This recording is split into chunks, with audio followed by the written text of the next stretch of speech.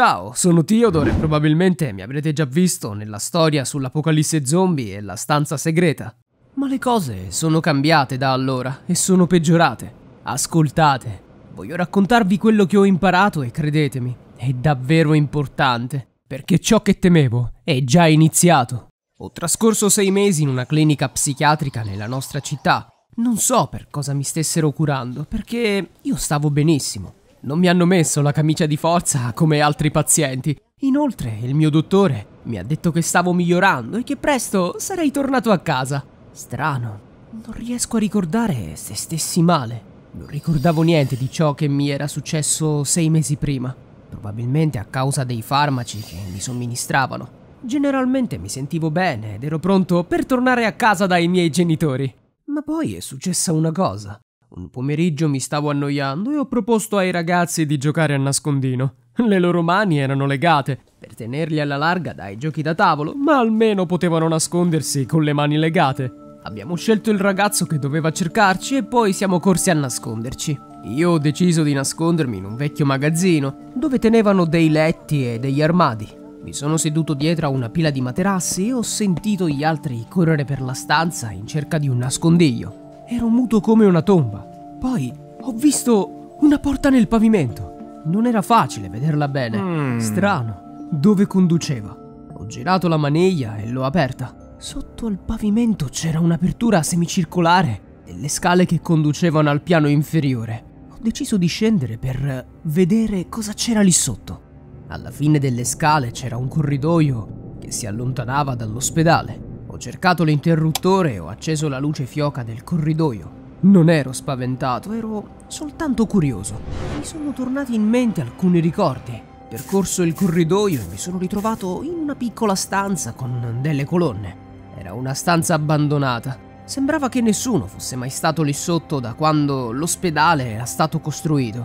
Probabilmente era un vecchio magazzino, ma ora poteva essere utilizzato come un nascondiglio segreto. E poi mi sono ricordato. La mia memoria è tornata all'istante ho realizzato perché ero finito nella clinica psichiatrica. Ovviamente pensavo che fossi pazzo perché volevo prevenire l'apocalisse zombie. Mi sono ricordato che la compagnia farmaceutica Allerbam stava per rilasciare un pericoloso farmaco. Sì, volevo bruciare lo stabilimento e dire alle persone che cosa stava succedendo.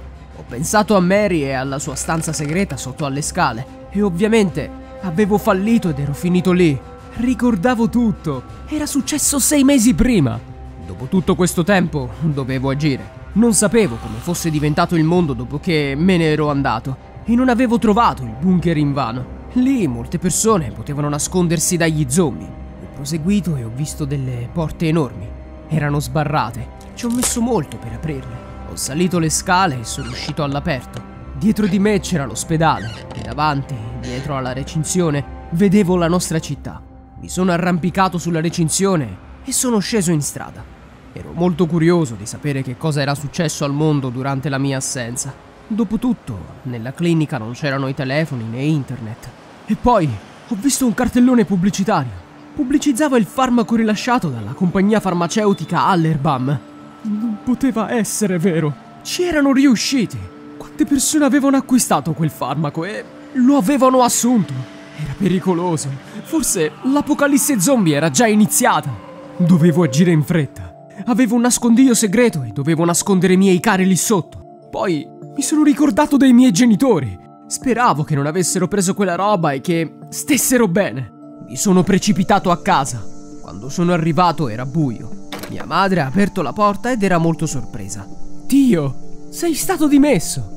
Perché non ci hai chiamato? Ero così felice che stesse bene. L'ho abbracciata e le ho detto che dovevamo andarcene subito. Ma dove? ha chiesto. Ho detto a mia madre che avevo trovato un nascondiglio segreto dove potevamo nasconderci dall'apocalisse zombie. Nessuno conosceva quel bunker e c'era molto spazio. Saremmo stati al sicuro. Ho pensato che mia madre ne sarebbe stata felice. Invece, per qualche strana ragione, si è spaventata. Sì, anche io ho paura. Sbrighiamoci prima che arrivino gli zombie. L'ho afferrata per un braccio. Mia madre mi ha detto che doveva prendere alcune cose e che aveva bisogno di 5 minuti. Ho accettato, riluttante. Mentre mia madre stava prendendo le sue cose, mi sono seduto davanti alla tv. Sullo schermo stava andando in onda il telegiornale e un giornalista stava dicendo che i dottori non avevano ancora trovato la cura per il virus e si stava diffondendo in tutto il mondo. Molti negozi e molte attività erano chiusi e il governo aveva chiesto ai cittadini di stare a casa e di non uscire senza mascherina. Ecco che cosa era successo mentre ero in clinica. Era iniziata l'apocalisse. Nessuno mi aveva creduto. Ma ora avevo un bunker segreto e sapevo dove nascondermi.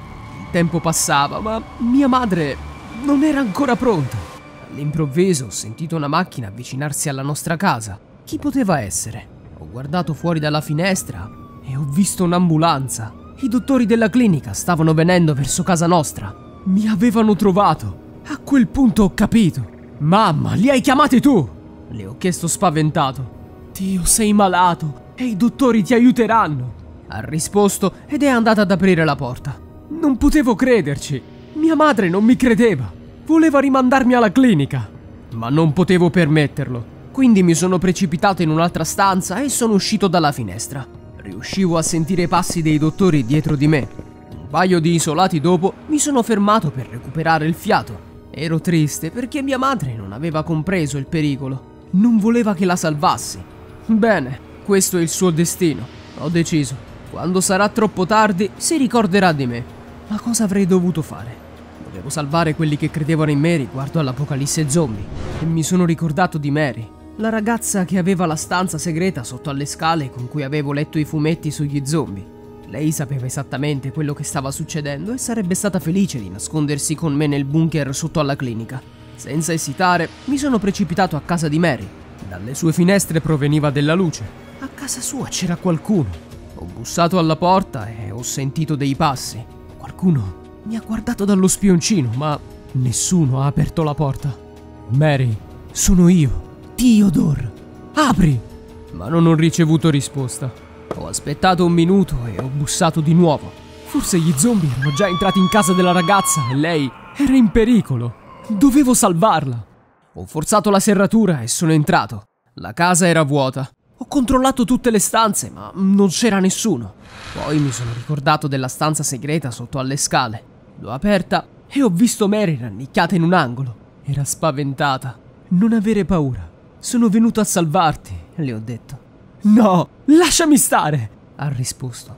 Ho cercato di convincere la ragazza del fatto che la sua stanza segreta non era sicura e che io conoscevo un posto più sicuro. Ho afferrato il braccio di Mary e l'ho trascinata con me. Abbiamo attraversato di corsa la città e io riuscivo a pensare solo a una cosa. Come evitare gli zombie e come nasconderci nel bunker che avevo trovato. Abbiamo scavalcato la recinzione, abbiamo sceso le scale e siamo arrivati alla porta del bunker. Eravamo salvi, ma appena siamo entrati nel rifugio ho capito che qualcosa non andava. Nell'oscurità ho visto delle figure muoversi nella stanza. Si muovevano in modo molto strano.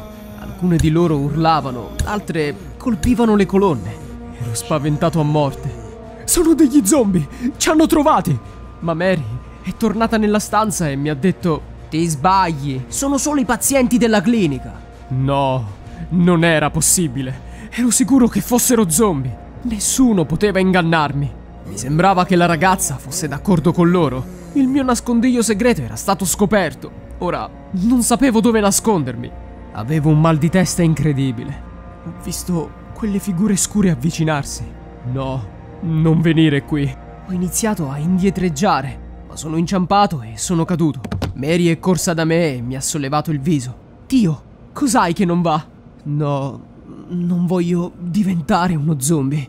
Le ho detto e poi sono svenuto. Quando ho ripreso i sensi era mattina. Ero nella clinica, nel mio reparto. Ho provato ad alzarmi e ho capito che mi avevano legato al letto. Che cosa stava succedendo? Ero stato catturato o non era successo proprio niente? Forse avevo fatto un incubo. Il mio dottore è entrato, ha sorriso e ha detto: Theodore, sei già sveglio? Sì. Quindi non era successo niente. Ho risposto che avevo fatto un incubo terribile sugli zombie in un bunker. Ma all'improvviso il dottore è diventato serio e mi ha detto che non era stato un incubo. Avevo davvero trovato una vecchia porta che portava a un magazzino nel seminterrato. Mi ero dimenticato di chiuderla e metà dei pazienti erano dispersi per la clinica. Avevo corso per la città per tutta la notte, avevo spaventato Mary e sconvolto mia madre. Ma è iniziata l'apocalisse zombie. Ho provato a replicare. Il dottore mi ha spiegato che me lo ero immaginato e che i miei problemi mentali erano tornati. Mi avrebbero curato di nuovo. No, non di nuovo. Mi avrebbero cancellato di nuovo la memoria.